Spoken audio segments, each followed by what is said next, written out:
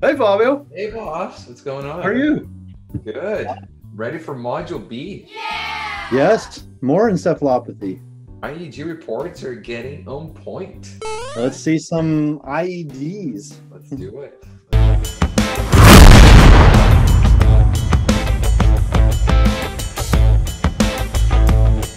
Yeah, so let's just start with um, what are epileptiform discharges? Uh, yeah. What are they? So doc, Dr. Jin Jing, our colleague and friend and mentor, tells me a story that when she came to work with you, you said that um, epileptiform discharges are those waveforms that if you if you sat on them, they would. They bulk your behind. She loves that story, and it just summarizes the whole module. So we're done.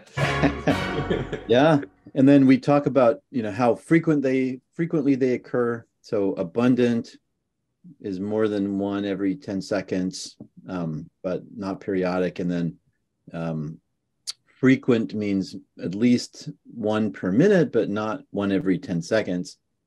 And then uh, occasional is at least one per hour, but not more than one per minute. And then rare is less than one per hour. So this would be when you're reading continue, you know, EEGs that are longer than 10 seconds, then you can use these terms. We're talking here about sporadic epileptiform discharges. So this is uh, a distinction between, um, we're making a distinction between um, these, which are kind of occurring at random intervals, to um, ones that occur at very regular intervals. Those are called periodic. We'll see those later. oh, there they are. Oh, right here. This is later. So these ones, yeah, these are periodic discharges. The top PD. Um, so what that means is that the, each one of these is a distinct discharge. Um, these each a little triangle, and then you can see a, like a little wiggly line in between them. Mhm. So um, so they have a little pause between the, before they happen again, right? Mhm. And then um, down below, there's something called spike wave, where there's a spike and then a round thing, and then a spike and a round thing with no little wiggly line in between. So no no pause at all. And uh, so we we distinguish these two things: periodic discharges and then spike wave pattern of uh, discharges. Got it. And how many do you need to count as periodic again? Because I forgot. Six. The magic number. Got it. Okay. So back to your sporadic um, definition and to our duration definition. So here we have an example of a, a discharge that lasts um, less than 70 milliseconds between 20 and 70. So it's spiky, hurts a lot. Um, if it's a epileptiform discharge, it's a sharp wave. It's between 70 and 200 milliseconds in duration. So, so you can see it's fatter here. Um, and it still hurts, but not as much. Yeah. And then we have the poly spikes that are just a family of spikes back to back, really close together in the same kind of complex. Um, so that's an example. And what's the last one? Those are, they could still be discharges. So this is a sharply contoured wave, but its its waist is too large to fit in the pants of a spike or a sharp wave. Yeah. So they're a discharge, but not epileptiform. Is that what you mean? Right. Correct. Got Yep. it. So they have different types, have different flavors, Yeah. And that's based on where they come from. Is that correct? Mm-hmm. Yeah. Come from one Mhm. continent, they're called one thing, and another continent, another world, they're called a different thing. Yeah. Yeah. That's right. So if you look at the cosmos of the brain, if it's the entire cosmos, it's generalized, right? I guess so. so entire brain Blowing my mind. That's right. If it's one portion of the brain's focal, so I think the multifocal for the ACNS um, team is when there's three foci independently generating discharge, epileptiform discharges, two of which are on one side, one hemisphere, and then the other one is the on the contralateral hemisphere. Is that right?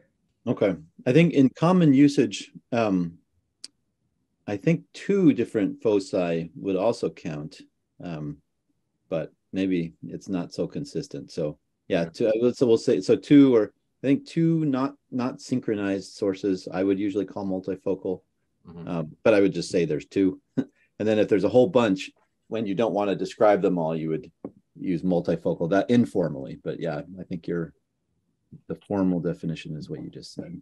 Great. Okay.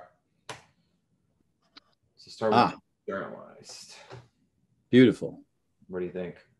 Yeah, so this this is a good example of a uh, little complex of generalized spikes, uh, spike and wave discharges, and let's see how many are there in in uh, one second. It's one, two. I think there's three. So this is a classic three hertz generalized spike and wave um, pattern, and it's frontally predominant as they often are. Mm-hmm. So probably a patient with an idiopathic generalized epilepsy. These are generalized, and now we can look at some focal discharges, which are very similar, except for the fact that they're coming from one particular area of the brain. They're not on all channels at the same time, just like the previous example. So here we have a one spike and wave discharge. So you can see the spike portion of it, and then this after going slow wave, it's on the right temporo parietal, occipital, posterior quadrant on the right side. Mm-hmm. Um, you can see a little bit of the midline too, and it's a focal discharge. Cool. So this is, oh, this is just the same to help us localize a little bit better. So yeah. average referential montage, um, highest amplitude being at O2. So my, my gestalt was kind of right. So it's uh, more so in the right occipital region, also involving the field to, to posterior temporal and parietal. And actually, you can see it on, uh, as you can see it on O1 as well here in this montage. Oh yeah, right there. Yeah. Cool. So that's a focal discharge. Now, multifocal, what are those again? Forgot. Yeah.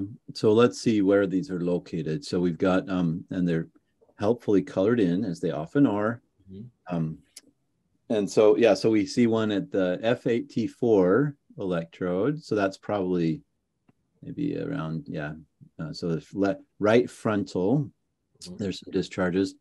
And then if we look on the left, let's see. Um, are they always synchronous? This one seems to be.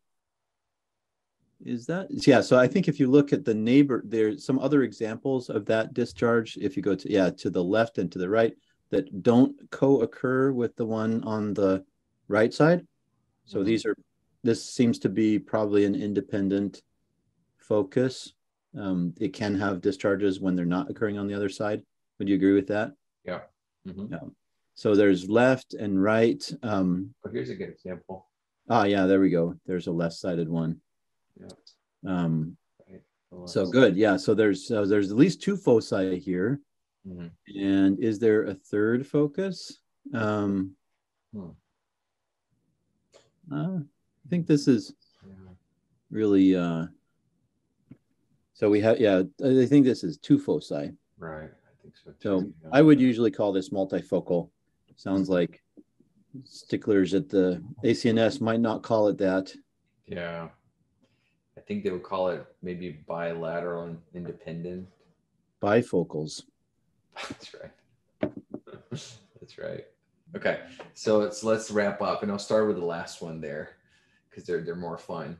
So if we're using the ACNS criteria, then it means that there are there are at least three independent foci producing discharges, two of which are on one side. If there's three, two of two of them will be on one hemisphere, the other one will be on the other contralateral hemisphere.